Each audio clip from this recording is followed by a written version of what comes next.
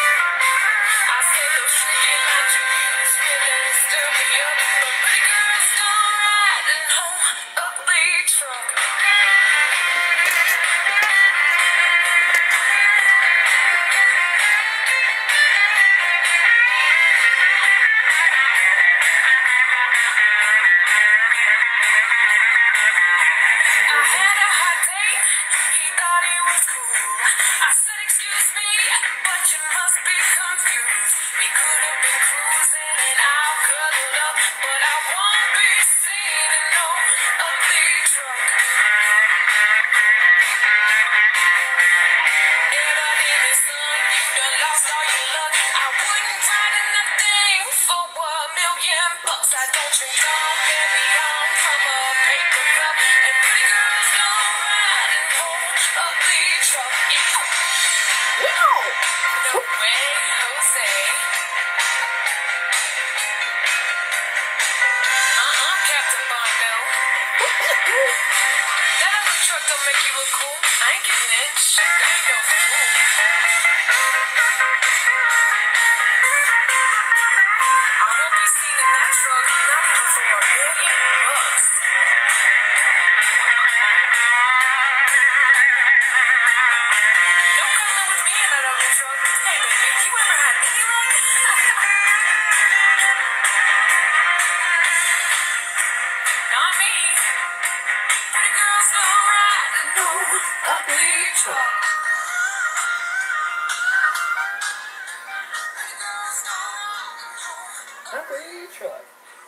I am using the ugly truck as a metaphor for negative thinking.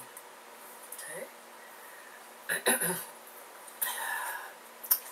when I uh, when I decided to do this message here, uh, I decided to look up ugly trucks. Uh, the phrase itself, ugly truck, and the whole thing about don't you buy no ugly truck became as popular as Arby's Where's the Beef? Remember that commercial? And uh, I found several videos of ugly trucks, and I was amazed to see the wide variety in which these trucks were ugly. Ugly trucks were unique specimens. No two of them ugly in quite the same way. What seemed odd was how proud folks of were of their ugly trucks.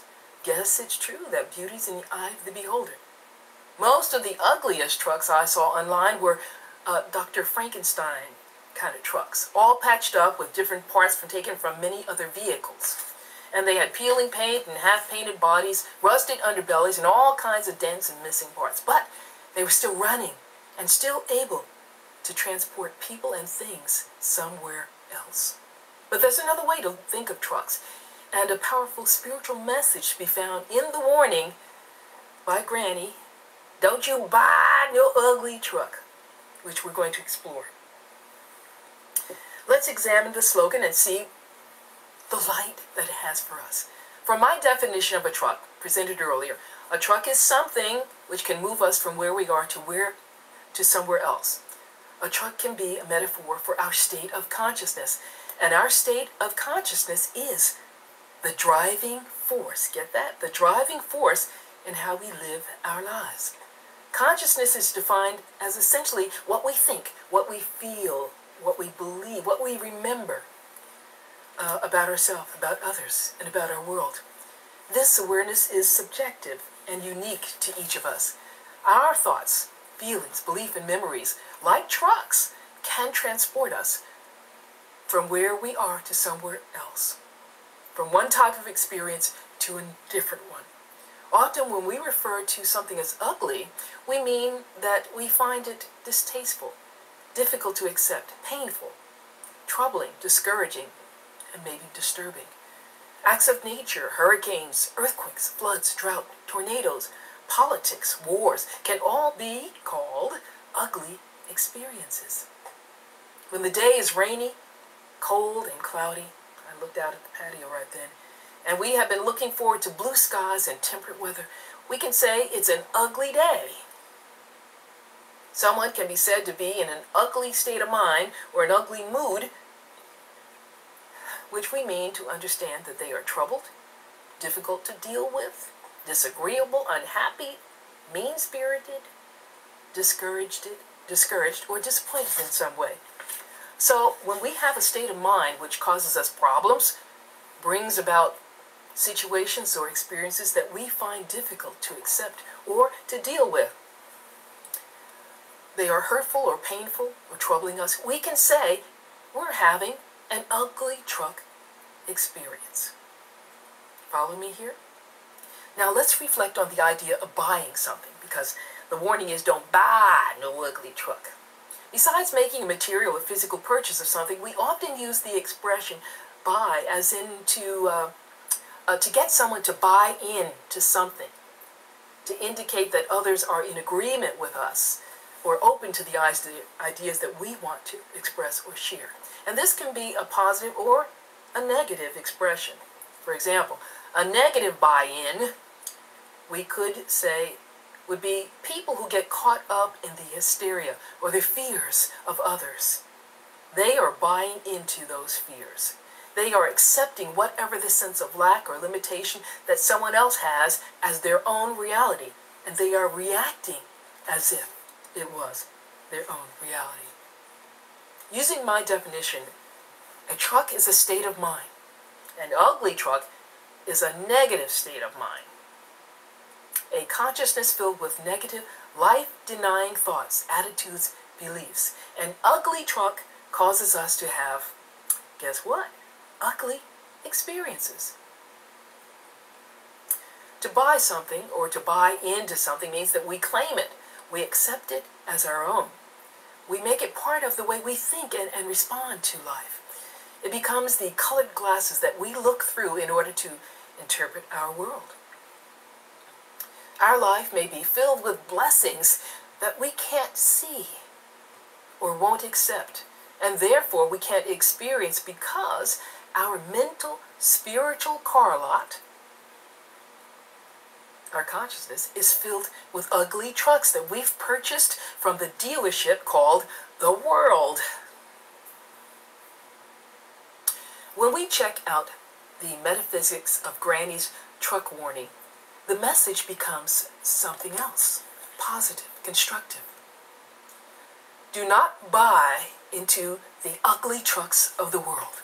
That is, stop accepting, claiming, and making it part of your belief. The ugly, negative, life-denying, and life-belittling messages that the world wants you to believe about yourself, about your life, about your world. Do not truck this stuff home in your consciousness. Now, many of you may recall that the Apostle Paul said this same thing about not buying ugly trucks, only he phrased it a little bit differently in Romans 12:2 when he said, Do not be conformed to this world, but be transformed by the renewing of your mind, so that you may prove that the will of God, what the will of God is, that which is good, acceptable, and perfect. Paul was saying, don't buy those ugly trucks that the world wants to sell you. Do not be conformed. That is, do not shape and form who you are into the limited negative image that the world may have of you or sends to you. Don't buy into those trucks of thought, but rather be transformed by the renewing of your mind. Now, if we find that we have made a mess of our lives by buying too many ugly trucks from the world's car lot, and if we are in the habit of negatively judging ourselves, criticizing or belittling ourselves based on the disparaging messages the world sends us, we need not beat ourselves up about this. We can change our life. We truly believe that here in Unity. And we can release the old mental and emotional tapes and memories by taking those ugly truck th thoughts to the dump and replace them with the kind of thoughts, words, attitudes, and beliefs that lift us up by reminding us who we are spiritually. We can accept brand new trucks, which we are proud to have in our spiritual car lot. It could be your heart or your mind, otherwise known as our consciousness. This life is a school for soul. And we are learning every day through our experiences what it means for us to be spiritual beings, made in the image and likeness of God, and learning how to live more fully from this essential divinity which indwells us, which here in unity we call the Christ within. Yes, the Christ within each of us this is the same divine aspect of God which indwelled and expressed more fully through Jesus, our elder brother and way wayshower. Jesus worked in his ministry of words and works to help the people who came to him to clear out their spiritual, mental car lots, to release and let go of the ugly trucks, the negative falsehoods about themselves which they had collected and accepted as their truth, just like us in today's world, accepting so much negativity from our social media. Jesus was a powerful user of affirmative statements. He spoke positively about himself and encouraged us to think good, uplifting thoughts about ourselves. And he pointed out not only his own divine spiritual nature, but also our own as well. For example, in John 8 12, Jesus declares this about himself I am the light of the world. Whoever follows me will never walk in darkness, but will have the light of life. But yet, in another message about the light of the world, found in Matthew 5, verse 14 through 16, Jesus tells us, his listeners, you and me, that we are the light of the world, too. And Jesus even bumps up this a bit more in other affirmative true statements when he speaks about our connections with him and each other and our oneness with God, which we may all one day realize. In John 14, 20, Jesus says, On that day, you will realize that I am in my Father. Father was Jesus' name for God. And you are in me, and I am in you. What a great picker upper these affirmative thoughts are for us, especially when we're feeling alone or feeling like we are not enough a bit like the worms of the dust that uh, old traditional ministers used to say, due to errors or mistakes that we've made. Here then is the key to stop buying ugly trucks from the world, to learn to think of ourselves as the spiritual beings that Jesus claimed we are.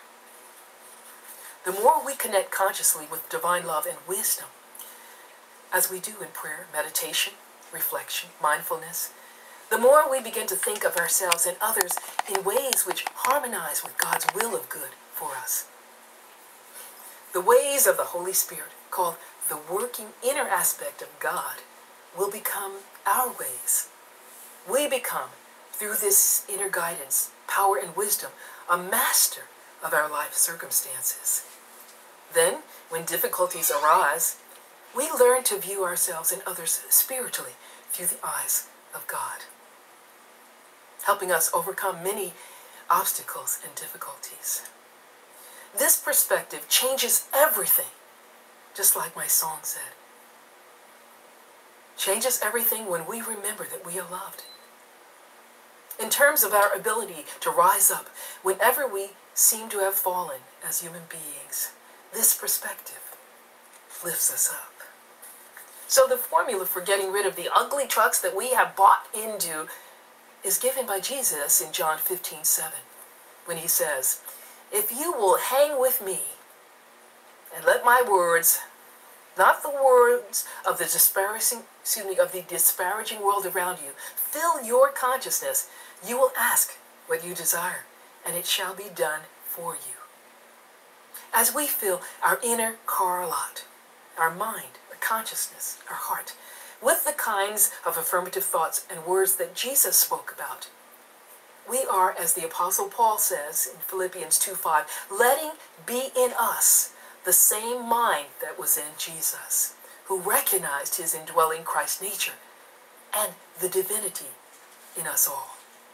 Now, I'd like to share a story in closing of what happened to a woman who was able to release the ugly trucks that she had bought and held on to for three years. A man came across a folded piece of paper while he was at the San Francisco airport that said, read me on the front. Well, how could anybody possibly resist that invitation? He knew he just had to look, so he did. And what he discovered inside was something surprising and wonderful. She shared. I recently left an emotionally abusive relationship after months of insults that I won't repeat. False accusations, lies, delusions, broken mirrors, nightly battles. I finally left. I know that I was being poisoned each day that I stayed. So, with a heavy heart, I left my lover of three years, knowing that I had already put it off too long. At first he begged, then he cursed, but eventually he packed his bags and faded out of my life like a bad dream. For the first few weeks, my body seemed to reject this. For three years, I had seen the world through his colored glasses. I didn't know who I was without him. Despite the kindness of friends and even strangers, I could not help feeling utterly alone. But it was this sense of lonesomeness that set me free. Somewhere along the way, I let go. I released all the painful memories, the names that he called me, the shards of him buried deep in my brain. I stopped believing the things that he made me think about myself. And I began to see how extraordinary, how breathtakingly beautiful life is. I meditated. I drank too much coffee. I talked to strangers. I laughed at nothing. I wrote poetry, and I stopped to smell and photograph every flower. Once I discovered that my happiness depends only on myself, nothing could hurt me anymore. I have found and continue to find peace. Each day, I'm closer to it than I was yesterday. I am a work in progress, but I am full to the brim with gratitude and joy. And so, since I have opened a new chapter in my life, I want to peacefully part with the contents of the last chapter. The end of my relationship was the catalyst for a wealth of positive changes in my life. It was a symbol. More, more importantly, it was an act of self-love. It was a realization that I deserved to be happy and that I could choose to be. And so, in an effort to leave behind the things that do not help me grow, I'm letting go of a relic from the painful past. I wore this necklace, which was a gift from him, for over two years. To me, letting it go is a joyous declaration that I am moving forward with strength, with grace, and with deep and lasting peace. Please accept this gift as a reminder that we all deserve happiness. Whoever you are and whatever pain you have faced, I hope you find peace. Namaste, Jamie. Jamie's letter shows that with courage and with tapping into the love that God is in us, a measure of self-love, we can change our life for the better and find happiness in a way that we might not even thought possible and all this if we stop buying ugly trucks from the world. God bless. And now I invite you to join with me in our meditation. You might sit back where you're seated, or if you're lying down, just relax. Let the chair, the couch, or the bed hold you up. Quiet your mind by focusing on your breath, your inhalation and exhalation. And as you do this, bring to mind some of the things that Jamie focused on in order to free herself of the ugly trucks that she had bought and held as true for her for three years. She had become so attached to her lover that she had lost her sense of who she was because she was seeing life through his colored glasses. Finally, one day, she came to herself. Jamie said, somewhere along the way, I just let go. She began to heal when she released the painful memories. Releasing these ugly trucks of thought, she began to see how beautiful life is, how beautiful her own life could be. She meditated, got in touch with that deeper presence within. She wrote poetry, talked to strangers, laughed at nothing, stopped to smell and photograph every flower. She was getting in touch with her true self, that spiritual being, that Christ within. And Jamie said that once she discovered that her happiness depended on herself, nothing could hurt her. And she found and continues to find greater and greater peace. This is where we want to be. We too are works in progress we too can be full of gratitude and joy at opening new chapters in our life. if we will choose to release and let go of the ugly truck thoughts that we have bought into, that we have claimed as true of us. And although your experiences may not be anything like Jamie's, take a moment to reflect now and see if there's anything that you have been holding in your mind or in your heart against yourself or another. If there is any criticism, harsh or negative judgment in your mind or heart, being held toward yourself or another, which keeps you from feeling free to be who you spiritually are, decide that you can let this go.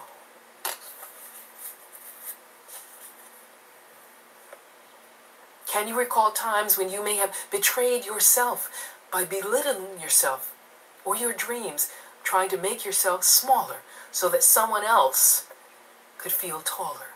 Or maybe you allowed someone else to treat you in a small way. As you breathe deeply and become aware of your inhalation and exhalation now, forgive yourself. Forgive others. Let the energy of those ugly trucks dissipate into nothingness and replace them in your mental, emotional car lot with new, improved models. Determined that you will claim for yourself the spiritual identity that Jesus and other spiritual masters have claimed for you in their words, their teachings, and the example they have set for you. Realize that what others have done, you can do too. And Jesus said this in John 14, 12. Verily I tell you, whoever believes in me will do the works I am doing. And they will do even greater things than these because I'm going to the Father. And what this means metaphysically, excuse, metaphysically is Jesus saying, what I do is made possible because I remember my connection with God. I go to the Father. I go to that inner connection and become centered in the presence of God indwelling me.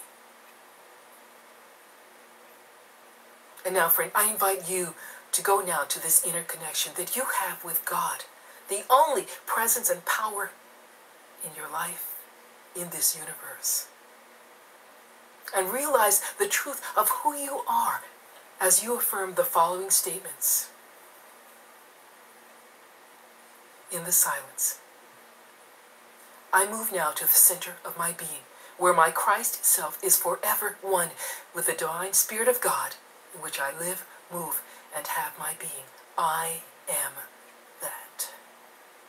I am that.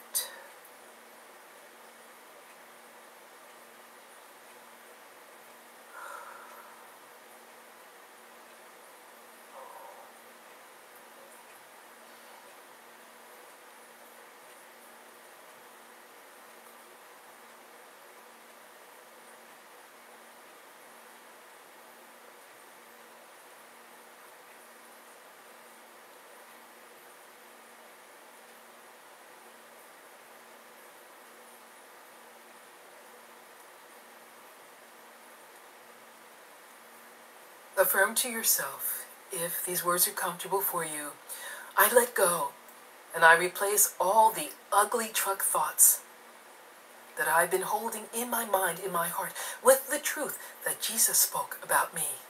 I am the light of the world. I choose now to let this light in me shine through me from this center of my being. I am guided I am inspired. I am encouraged. I am strengthened. I am empowered to be all that I choose to be, to live the life that I choose to live, to share my world, share with my world my true radiant self. I am gifted, I am blessed, and I am a blessing to my world. I send out to my world truckloads of love energy, truckloads of peace energy, truckloads of goodwill.